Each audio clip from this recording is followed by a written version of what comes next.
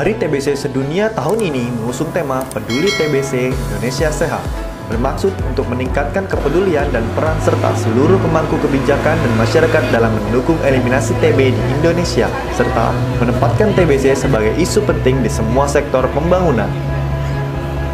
Salah satu rangkaian peringatan Hari TBC sedunia tahun ini merupakan kegiatan penemuan aktif di lapangan, di mana kader dan petugas di 34 provinsi melakukan upaya ketuk pintu atau mendatangi langsung ke rumah-rumah untuk melakukan pemeriksaan gejala TBC dari kontak pasien. Eh, menyampaikan apresiasi kepada mereka yang telah bekerja dan aktif dengan komitmen dan penuh dengan inovasi. Semoga penghargaan ini akan memotivasi daerah-daerah lainnya untuk memberikan pelayanan tuberkulosis yang terbaik. Saya berharap implementasi program berkesinambungan intensif penuh semangat di seluruh Indonesia karena pada tahun 2030 kita berjanji mengeliminasi tuberkulosis.